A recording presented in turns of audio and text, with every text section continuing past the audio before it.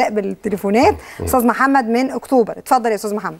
مساء الخير يا مدام رشا. أهلا وسهلا يا فندم. اولا بشكرك على برنامج كلام تاني وعايز أرحب وأمسي على الدكتور محمد المهدي. يخلي وسهلاً. حضرتك ازي حضرتك يا فندم؟ أهلا وسهلا بحضرتك. معلش أنا عندي نقطتين هتكلم فيهم مع حضرتك لو تسمح لي أستاذة رشا الأول. اتفضل يا فندم.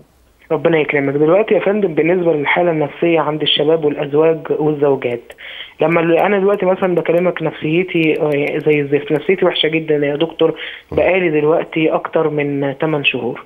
من ساعة ما يا فندم ما اتوفت والدتي وأنا نفسيتي تعبانة جدا ومش عارف أعيش في الدنيا. الله يرحمه. يعني أنا والله العظيم بص وحتى يعني ما بقاش ليا أصحاب. يعني كنت قاعد فترة مثلا وقمت مثلا في بني سويف فترة. ما, بحبش إن أختلط بحد كتير لأن لما كنت مع أمي كنت حاسس بكل حاجة. يعني كنت حاسس بالأمن والأمان وكده.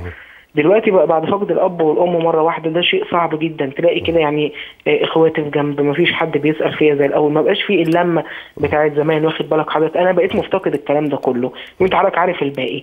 بعد كده عندنا دلوقتي بقى مشكلة اصحابي كتير قوي يكلموني فيها. نتخلص من مشكلة العادة السرية.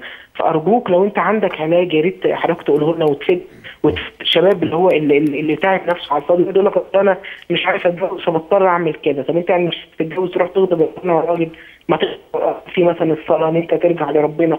فيا ريت حضرتك تقول لي برضه إن أنا أخرج إزاي من الأزمة النفسية اللي أنا فيها ديت؟ لأن خصوصا إن أنا أمي متوفية بقى لها دلوقتي سنتين أو ثلاث سنين مش قادر إن أنا أنساها ولا ولا قادر إن أنا أنسى. وحضرتك متجوز يا أستاذ محمد؟ لا والله مش مش بحب فكرة اللي هو موضوع الجواز ده لأن أنا ببقى شفت مقاس كتير قوي في التجارب بتاعت إخواتي وكده فأنا كرهت الفكرة والله يا أستاذة دينا. عمرك كام سنة؟ مش عايز موضوع الجواز ده خالص. عمرك كام سنة يا أستاذ محمد؟ 22 يا دكتور. 22 22 سنة. صغير لسه يا أستاذ بتشتغل؟ ما هو 22 بس هعمل إيه بقى؟ رافض الفكرة والله. بتشتغل ولا لأ؟ لا والله ما عنديش شغل حاليا. مخلص اللي هو الدبلوم الزراعة ومش لاقي وظيفة بيه خالص أشتغل و- بيها. وعلاقتك بإخواتك عاملة إيه؟ كويسة والله وبسأل عليهم يا فندم ما فيش أدنى مشكلة خالص. واخد حتى خدت واخد واخد قاعد في الجيش وكده ومش لاقي وظيفة خالص. ما أعرفش والله أعمل إيه. طيب. شكرا يا أستاذ محمد. طيب طيب هو هنرد على أستاذ محمد آه، لأنه طيب. بيصير نقطتين في طيب. غاية الاهميه حضرتك ومعانا بس ناخد أستاذ عبد الفتاح من القاهرة.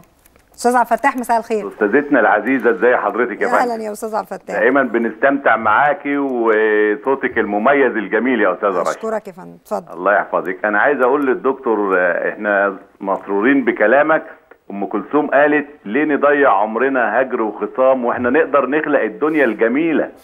الدنيا الجميلة حوالينا. إحنا ليه ليه بنعقد الأمور؟ هي السعادة هي الأساس.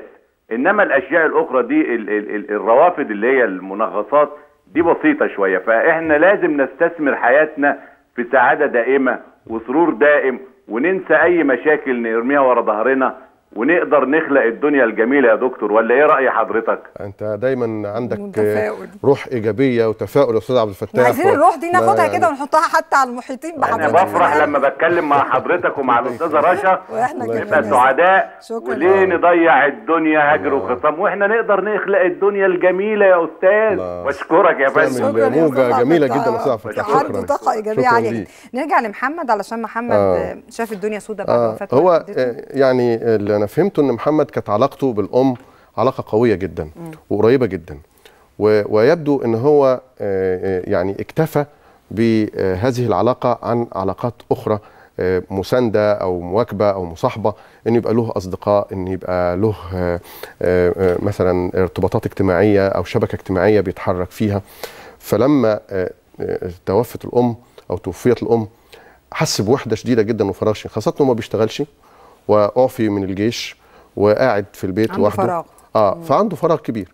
وده دخله كمان مش مش بس إن هو في حالة حزن وإحساس بإنه الدنيا فضيت وإنه ما فيش أمل في الحياة وإنه الحياة بقت آه، مظلمة وكل التعبيرات اللي هو قالها إنه كمان آه، تورط في ما نسميه بإدمان العادة السرية. هو بيتحدث عن من قطاع من التلطيف. أصدقائه كبير من الشباب.